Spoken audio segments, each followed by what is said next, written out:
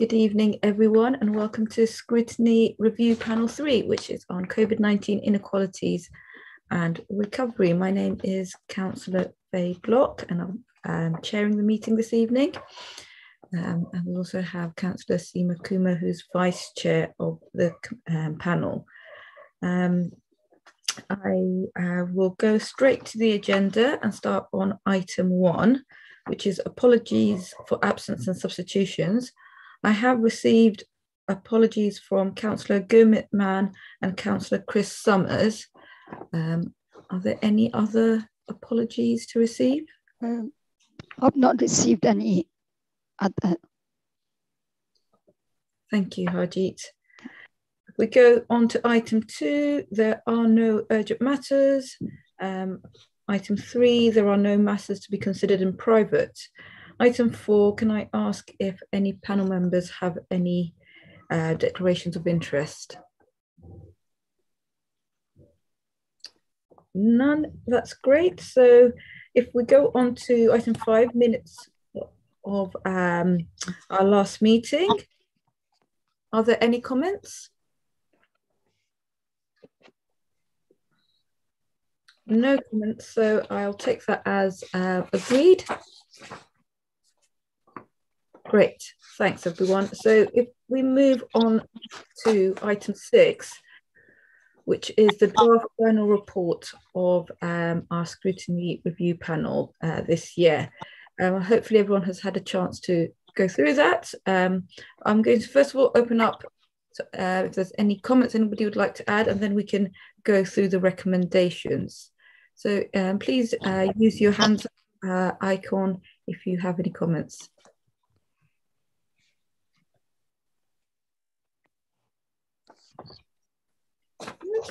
Okay, great. So moving on to the recommendations, I'll just read through them. Um, if anyone has any um, comments, oh, Councillor Kumar. Yeah, no, it's fine. I was just going to say, uh, where you've come on to the recommendations, I was just going to say where we have um, under R3, um, could we, or even R1, um, could we include sort of say borough wide rather than um, you know, we've got the Southall Jobs Partnership, the Southall Community Alliance, um, yeah. and youth engagement borough-wide because it has affected the young people. You know, I mean, they were the ones who suffered and could not get into jobs, and you know, obviously on the education side as well. So, ju- just that addition, if it fits in, just say borough-wide youth engagement. Yeah. Please. Yep. That's it. Okay. Thank you. Thank you, um, Councillor Kumar. Councillor Malcolm. Thank you. Yeah, I, I, agree with the seven recommendations and just have two comments, one about recommendation one and seven. Um, one, I know a previous scrutiny committee about four or five years ago that I was on, um, this topic was raised. I just want to make sure that although we hopefully will agree the recommendation, um, I do think this is something that can um, help a lot of, of disadvantaged groups, um, and we need to sort of make sure we're pro, uh, sort of proactive on this rather than being probably passive, which I think happened four or five years ago, sort of hoping it would happen. And item seven, I think we've all noticed that um, hotels and office blocks have become less in need even five or six years ago, and certainly with COVID, that's really had uh, an effect, as the report demonstrates. So um, I agree with all the recommendations, but those are my two sort of specific comments. So thank you. Thank you, um, Councillor Malcolm. Uh, Mr. Basran. Yeah, thank you, Chair. I, I just wanted to make a, a general comment really about uh, one of the reasons why I'm part of the group, which is to sort of represent a, a voluntary sector voice, not just in Southall, but across Ealing. And um, so I, I agree with the recommendations. I think they're very helpful. Um, and it would be nice uh, to just to recognise officially the the contribution that uh, community sector, voluntary sector, and faith sector organisations played uh, in the really dark days, uh, early days of the pandemic lockdown, and uh, of course with the c- kind of collaboration of Ealing Together and the support from council officers, it was a, it was a mixture which worked really well, and which in some cases is, is still around and, and still and still working. So uh, it's just really just to reiterate, as I said, you know, voluntary sector did a great job uh, working in partnership with the council. And I hope that's some, that's a model that we can carry on working uh, into the future. Thanks. Thank you, Mr. Barton. And I, I echo your um, comments there. I do believe that um, you know COVID was a terrible time, but it really did highlight the best in our communities, and I think we saw that across the borough, didn't we? With whether it was the food bags, the food deliveries, neighbours setting up um, groups to uh, look after each other as well. So um, thanks to everyone in the voluntary sector who did um, so much to help our communities. Um, do I have any other comments? So, um, uh, well, we've kind of gone through um, some of the um, recommendations. Um, if I, um, so if I, I mean, the, the, consensus seems to be that all of the uh, recommendations are agreed. So um, I won't go through them all now, um, but yeah, if, if we just put that forward. Yep. Is, does anybody have any disagreements with any of the recommendations? Nope. Great. Okay, fantastic. So really that was um, the substantial part of our uh, um, meeting. Uh, Councillor Malcolm, your hands up. Oh, okay. Sorry, I've just uh, uh, myself. There isn't an item on the agenda for this, but I just wanted to make sure before we finished, because it sounds like we are about to finish. I just want to thank, on behalf of my political party, the Lib Dems, um, your work as chair and the vice chair, and the huge number of officers actually in this particular area. There's far more in this scrutiny committee than most other scrutiny committees I've sat on over the last 10 years. So thank you for all those people and yourself um, for the work that you've done this year and on similar committees previously. Oh, thank you, Councillor Malcolm. Um, yeah, uh, I, I will. I will go on to my thanks in a second. I, I did want to, uh, to just ask if um, members had any um, suggestions for future scrutiny topics going into uh, 2022, 2023. I don't see any hands up. If you do have any, uh, oh, Mr. Basran? Yeah, sorry, I'm, I'm, I'm, using my phone today, so I couldn't quite click on the the electronic. Yeah, I, mean, I, I, I, think something which underlies uh, underpins a lot of the uh, discussion around inequalities is about poverty, and you know we had after probably a decade of austerity really started seeing how bad things were two years ago, but of course the pandemic's taken it to the next level and exacerbated and amplified really a lot of the kind of um, poverty, in work poverty, particularly that affects residents in the borough. So I, I, hope that there may be some more detailed scrutiny about about the impacts yeah. of poverty and what we can do around the borough to help people who are really, really struggling. This cost of living is current and contemporary, but I think there are underlying underlying factors that we need to look at.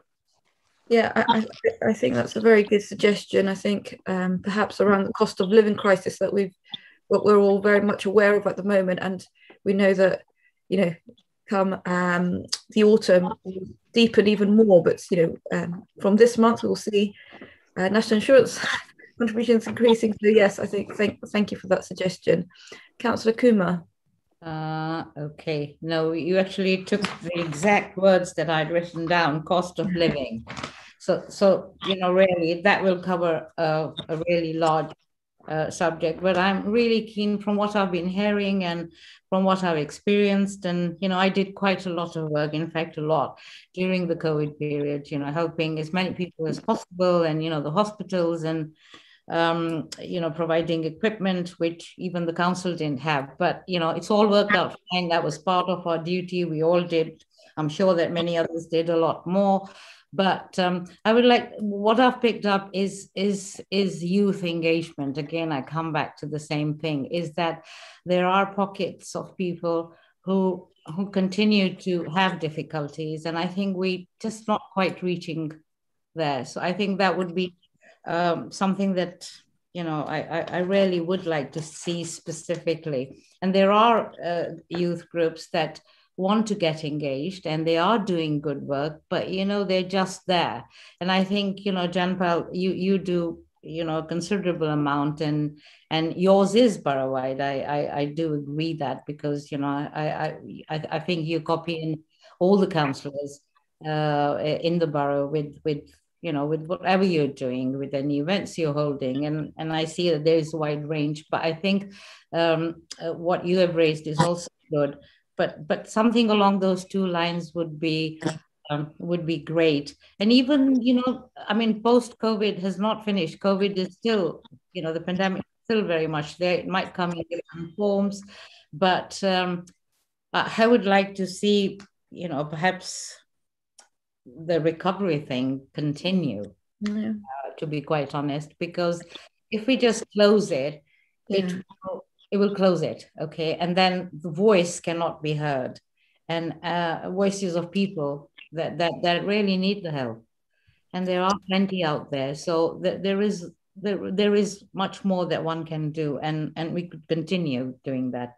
But I think I did send stuff in. I'm I'm not sure whether it. Um, it, it actually reached maybe i've done it on some other um, committee meeting but those are those are mine um, uh, at the moment and and is it okay to say my what I want to say about you now, or are you going to? Uh... Oh, well, please do. Okay. Thank you. Well, you know, I mean, it, it, has been a great year actually, and and I've really enjoyed working with you and and the rest of the committee, and and you know the officers. Everybody's been super efficient. They've come back with detailed information. Um, and you know sometimes we are a bit in our pre-agenda meetings. We do put a lot of questions to them. And and i think they've been addressed and nobody's kind of you know come back with any any negative response. It's been prompt it's been detailed and they've taken any issues that concerns we've raised uh, on board and i think that's so helpful because we do rely on them. We're not the experts and everything and we do rely on on on, the work they do year in year out. And and um, you know you've been an excellent chair. Um, and you know you've been very reasonable. You've been you know you've given everybody the opportunity to speak and listen. Um, and um, i shall you know miss you when you're not there oh thank you councillor kumar that's very kind of you to say and yes um, uh, yeah, I, would like to also uh, give my thanks to the officers because I agree with you. They have put in an immense amount of work, and we know how hard they worked over um, lockdown and that period where everybody was struggling. And um, you know, I think the council did, uh, and council officers in particular, did a great job to support our communities and and looking at the work that they're putting in to address some of the structural barriers that got highlighted because of it has been um, great work. And so I'd like to thank all the members as well for all your input. And um, obviously, I'm not standing again. So it has been such a pleasure to work with everyone across the whole political spectrum over the last four years. So uh, for all of you who are standing again, I really wish you all the best. And of course, um, yeah, it'll be exciting for me on the 6th to see the results without, uh, without being too concerned about it. So, no, thank you everyone for your work. And, uh, and in particular, Hardy, you've been, you've been great. You've really helped us keep on track and you've been so um, helpful with the reports. So, yeah, I, I, I, I thoroughly um, give all my thanks, I'm sure, from all the members on that uh, respect. Um, I do agree with um, Councillor Kumar's point about continuing this because the recovery feels like it's only just beginning. The pandemic really did hit our communities, and you know, um, I, I, think that uh, especially with some of the work around inequalities and education, the uh, recoveries won't be short term. You know, it will take a lot longer. So, um, if OSC does decide, I, I would also recommend um, continuing to look at the recoveries from this period. Um, so I will just on that note say that if there aren't any other comments, I think we are done. And um, hopefully this will go to um, OSC for them to agree and, um, and then to Cabinet. And I hope that some of these recommendations are put forward. And um, I wish everyone the best um, going forward. The meeting is Thanks, Thanks, everyone. Thanks, everyone. And thank you, Harjeet, uh, uh, for being so patient. Thank you so much. Thank you. Thank you very much. Thank you. Bye bye. Bye, everyone. Good luck.